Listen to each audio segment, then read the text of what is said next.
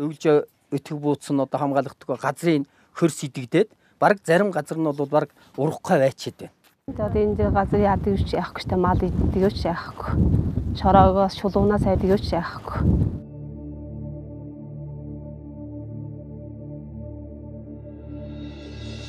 Цусангийн асуудал гэж ирээсээ байхгүй. Өвлжөөнийхөө газар дөрвөн үлрэлээрээ хаваржин өвлжин цусан намарж байна. Энэ маш их бэрхшээлтэй. Одоо манайх бол одоо жилийн дээр үлрэлд энд байна малын тоо толгой бүтцээр хүртэл асуудал гарч байгаа байхгүй. Заашгүй ямаа одоо бэлчээрийг нэлээд талхалдаг байдаг ч юм уу те. Ямаа бол бас хоньник чин тураа ницээ наа чин дагуулж үүн. А ноолуураас болоод ингээд өсгдсөн.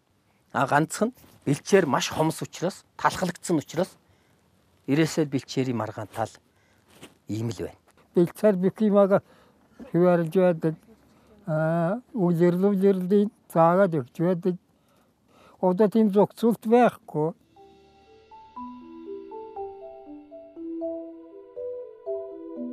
Э, сумын засаг даргын захирамжийн дагуу бэлчээр ашиглалтын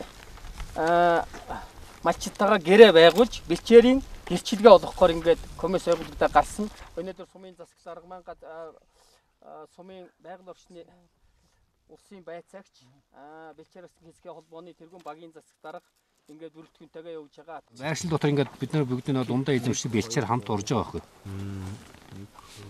Дөрөв. Дөрөв хотоо энэ Батууч.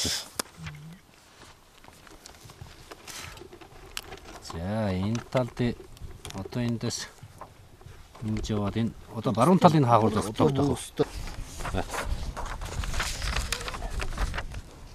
Тэгээ хойтол. Яа, зураасны хойтол гэрээд бэлчээрийн нийт талбай 700 га гэрээд бэлчээрийн нийт дац хонь толгоогоор 458 энэ өвж өрн боломжтой. Гарсан юм байна танаа. За за бэлчээр. Бэлчээр ашиглалтын гэрээ.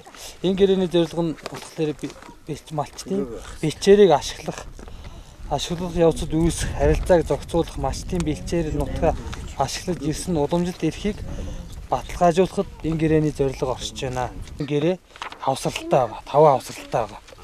Энэ таван хавсралт нь болохоор гэрээт бэлчээрийн зураг гэдэг. Одоо та та нарын одоо сая гараар зурсан зураг чинь кадастын зураг буугаад ирнэ. А хоёрдугаар гэрээт бэлчээд байрлаж чадвах даац гэдэг одоо миний хэлээд байгаа хідэн толгой мал нэмэлчих боломжтой юм. А гурууд болохоор бэлчээр ашиглах эрхийн гэрчилгээ.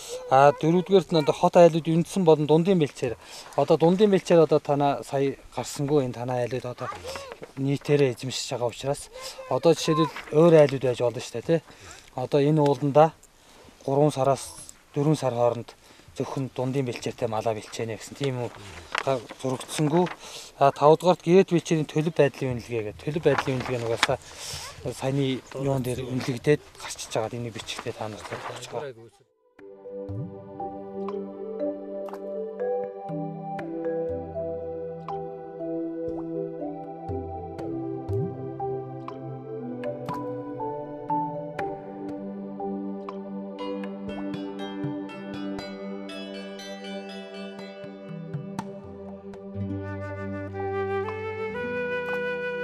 Эзэмших үү, яаж чөлөөлөх үү, яаж өнжөөж хэрэглэх үү гэдгийг л одоо тэгжил хөөжил зааж өгөхгүй болвол жил жилдэл хүмүүс одоо жилд нь дараалалаар ирээл буугаал суугаал бэлчээрээ сүйтгэдэг асуудал байна.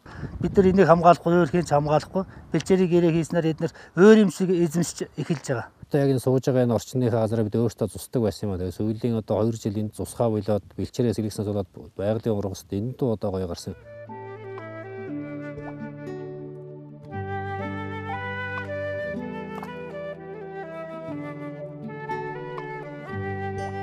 Одоо нэг бэлчээр байхтай оо миний газар одоо миний юм гэснээр малчтууд шал онд болчихж байгаа байхгүй.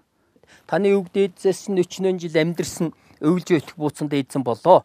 Таны чинь баталгаа чинь энэ гэрчилгээ шүү. За ингээр инг өвчнэн толгой хонин толгой шилжүүлсэн таны бэлчээртэй чинь юм чинь бэлчих ёстой. За дундын бэлчээрээ та нар хаяа хадвшин сууж байгаа малчтайгаа ингэж зогцгээд бүр газрын зургал гаргаж ягаад малчтайгаа хилцэж байгаад ингээд тохирцоод бидний гаргаж юм яг ингэсний үрдүнд жоохон ч гэсэн ажил ихц байна гэж үзэж байгаа. Бэлчээрийн хуваар одоо газрын ургач өвс таас янз бүрийн мэтлүүд ингээл гол төлөвлөж гаргаж ингэ сайхан танилцуул ингэж өгөх нь хамгийн зүйтэй байна гэж би хувьдаа энэ их сайхан сайшаад үзэж байна. Ингээд нэг яриа байгуулад явах юм бол ер нь боломж юм шүү. Энэ гаднаас одоо холоо өрөөс үүсэж байгаа малчингууд одоо хөш төрж орж ирэл за энэ миний чиний гэхгүй ингээд маргаан зөрчил гараад ирлээ гэхдээ би урдаас нэг үзүүлж харуулчих нэг иршилгээтэй гадны нэг өрх ирээд авахгүй мэдээж кино авахгүй мэдээж тэгээд тэргээ хамгаалж юм байгаа. Хэдэн малдаа зохицуулаад бэлчээрээ ингээд малаа чанаржуулаад өсгөө байж болох юм байна гэж бодож байна.